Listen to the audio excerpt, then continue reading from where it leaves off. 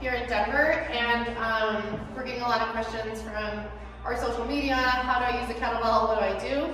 So we're just creating a quick little intro video on how to use your new home gym equipment. Um, so we're gonna start with mobilizing. We mobilize every class. We wanna get into our joints, make sure everything's feeling good before we start lifting some heavy bells.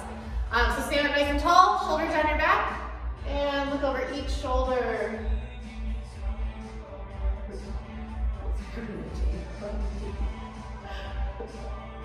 So with mobility, want to stay there until we feel some heat in that area. So once I feel my neck get a little bit looser, a little warm, then we're going ear to shoulder. Still keeping shoulders away from our ears, sitting up nice and tall. Technically standing up, nice and tall. Good, and then this one gets a little funky. You're gonna go chin down and out, and then chin up and back. Chin down and out, up and back. So working the first few vertebrae of our cervical spine here.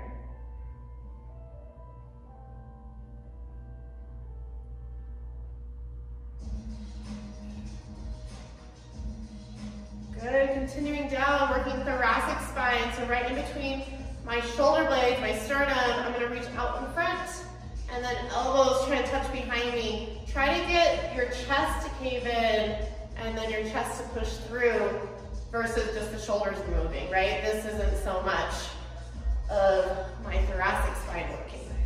So in between shoulder blades.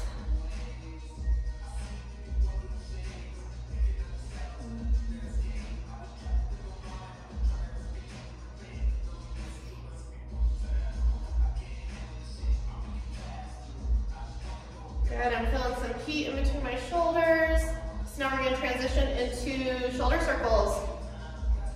So nice, big circles with the fingertips all the way down and around. Rotate that thumb, so on the way up, my thumbs are up. On the way down, rotate that thumb down. That just clears your scapula so that you're able to get deep into that shoulder joint. Make it big. I see this with a lot of my students when I'm not watching. This is how they're mobilizing their shoulder. I don't really know what that's doing. So make it nice and big. Arms stay straight. Let's change directions. Again, thumbs are up when the arms are going up. Thumbs go down when the arms go down.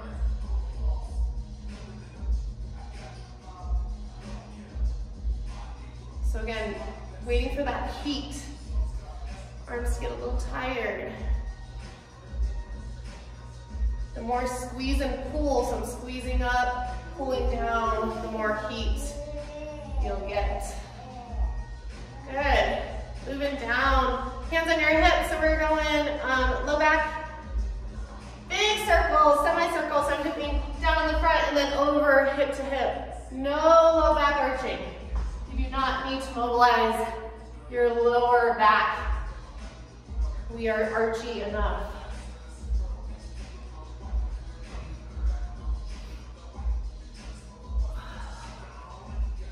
So mobilizing our hips, low back, warming up those hamstrings. Good, change directions. Again, it's a semicircle, it's not a full circle. Dip low, then straight over hip to hip.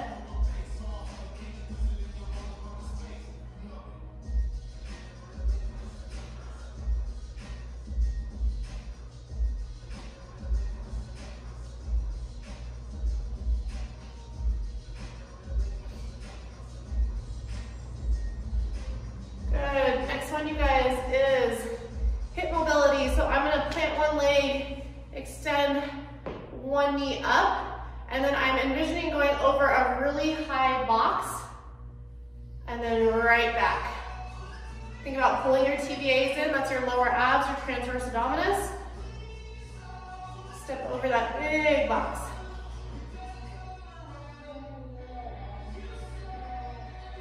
Good, adding to our box, we're gonna flip the hip on this next one.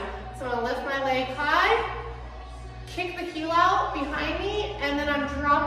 teeing that standing foot. Making a tee with my feet, and then reversing it.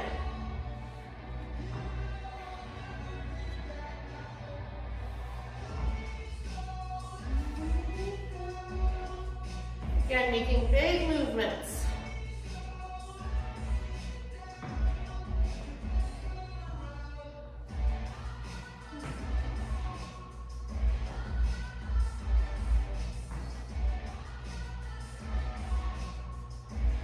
Right, you guys, let's go other side.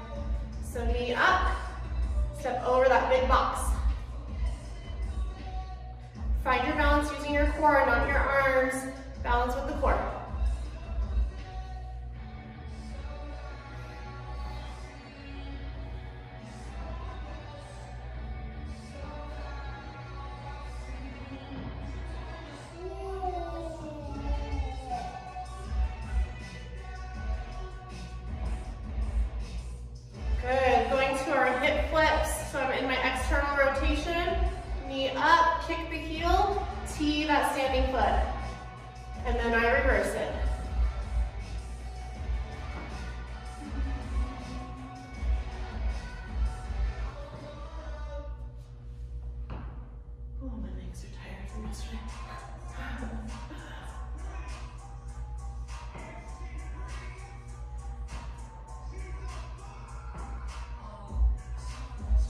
Right, you guys, moving down, knee circles. So big circles, I like to bring my feet together, knees together.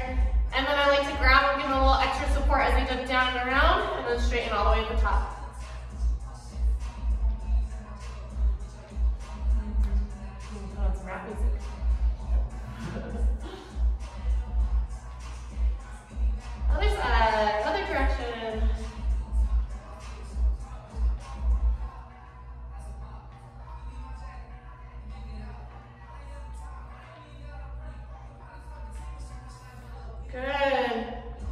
Ankles. So if you don't have shoes on, foot out in front of you, nice big circles. If you have shoes on, you can go foot behind you.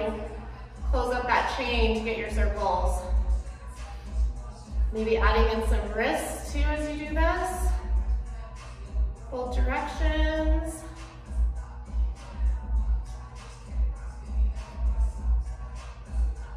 Good, we'll go other side, maybe adding elbows on. So thumb towards me, up towards everyone else. Except no one else is here.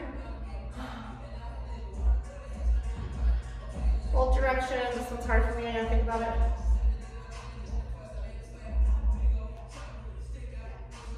Cool. So that's how we mobilize, or an example of how, of how we would in class. You can mobilize however you want, just work from your neck all the way down, thinking about every single joint on the way down. Um, all right,